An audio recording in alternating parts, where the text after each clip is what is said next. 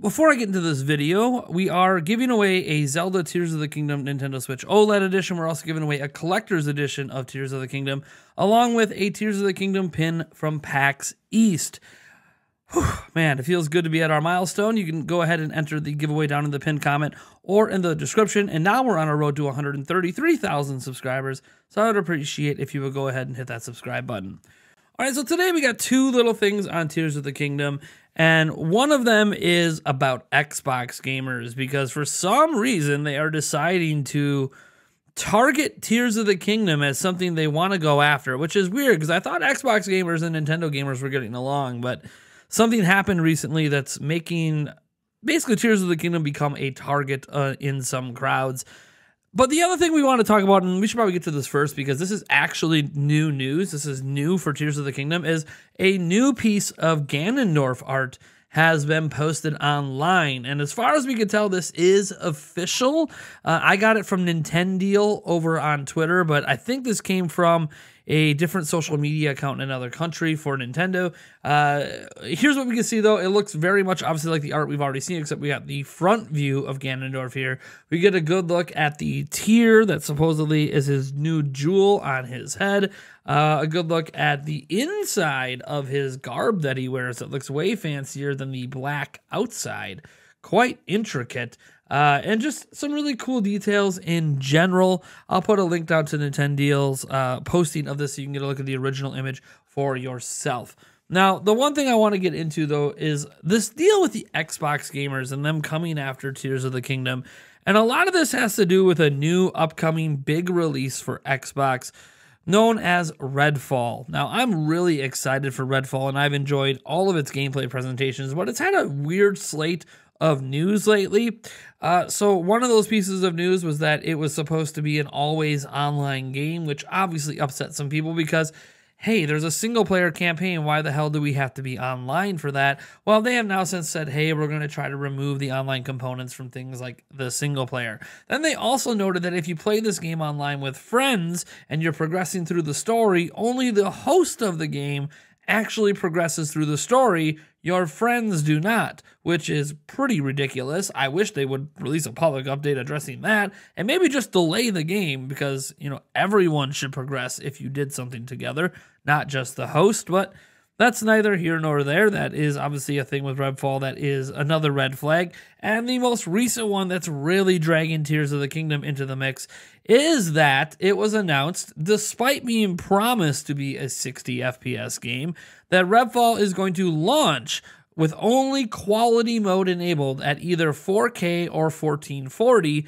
at 30 FPS, and that they won't add the 60 FPS performance mode until a patch later. And what sucks about this is the game to date had only been shown off in 60 FPS. So you could argue that there was some false marketing there. So naturally, a lot of fans of various platforms that like to participate in console wars have been poking fun at Redfall and Xbox gamers because this is the first big game for Xbox really since Halo Infinite over a year ago.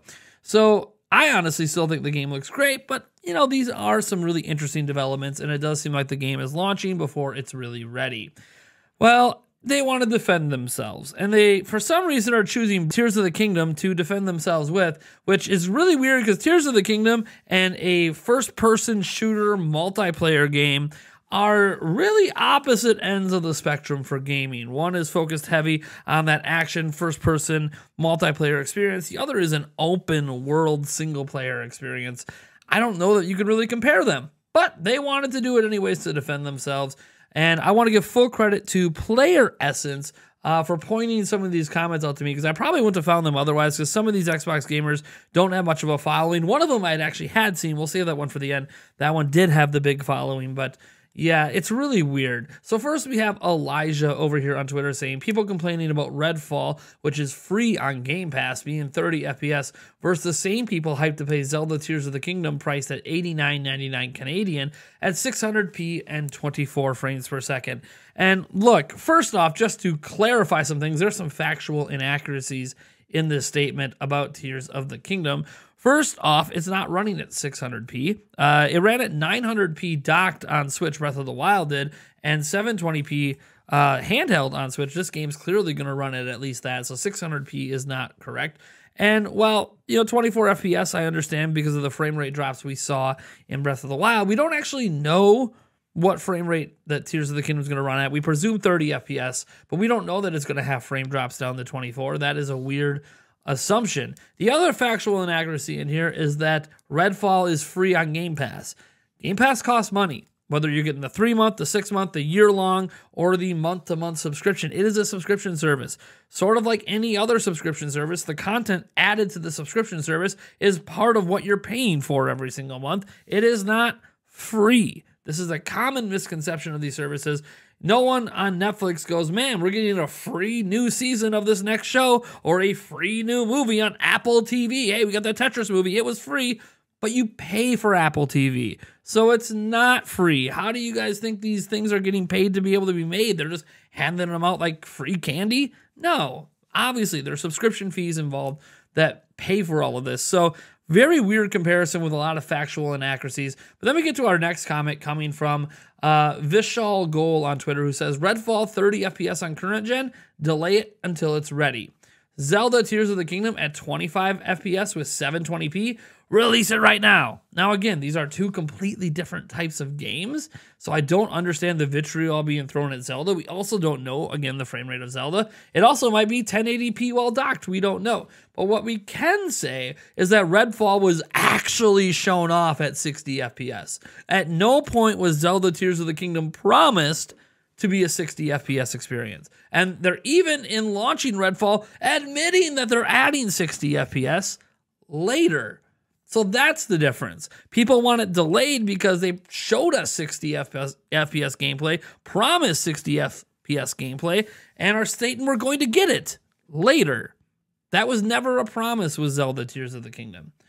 Moving on, we have some other uh, statements in here. This one coming from James over on Twitter saying, How many people who are caught up in the Redfall 30 FPS drama are going to play Tears of the Kingdom in May? How many of you all played 30 FPS S games just within a couple of years? Do you keep the same energy for all those other times? Curious. Uh, and it's weird because obviously one Zelda's a, a third party or a third person game, and it's not an FPS, and it doesn't require competitive advantages through multiplayer. Uh, which 60 FPS and above is genuinely considered better for. I'm not saying 60 FPS Zelda would be better, of course it would, but why are we even comparing a first person shooter on the Xbox Series X, a significantly more powerful system, to Nintendo Switch? And even when we are just talking about multiplayer games, when Nintendo does do multiplayer games, see Mario Kart 8 Deluxe, Splatoon 3, those games are 60 FPS. Because even Nintendo recognizes multiplayer experiences are better at 60 FPS, so much better, we might even sacrifice some visual quality to make sure we have 60 FPS. Uh, so even just talking about similar style games, um, Nintendo does focus on 60 FPS when it matters.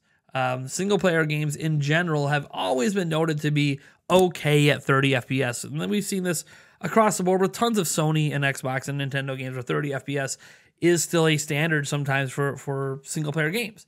But uh, yeah, it, it's a, a, weird, a very, very, very weird sentiment. And then we have maybe our most popular uh, person on Twitter today, uh, at least most popular Xbox fan potentially here, in Snap Blast Play saying Zelda at 30 FPS. Then he shows an image of, you know, basically children having fun with Switch and smiling.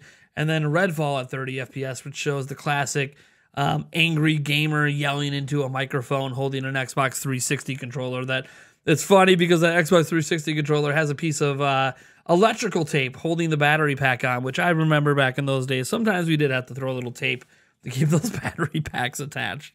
Uh, yeah, look, it, it, it's to me this whole comparison is just silly. I don't think these games deserve to be compared. I understand what some Xbox fans are doing.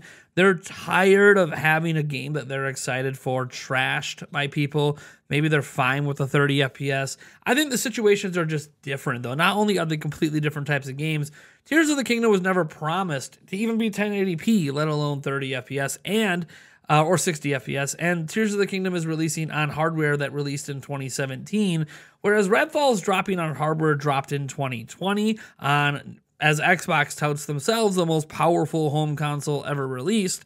And Redfall is exclusive on top of that. And Redfall was showing 60 FPS gameplay this whole time. They have yet to actually even show us 30 FPS gameplay. Everything from Redfall has been 60, clearly promising a 60 FPS experience, and even admitting they're going to patch in the 60 FPS later.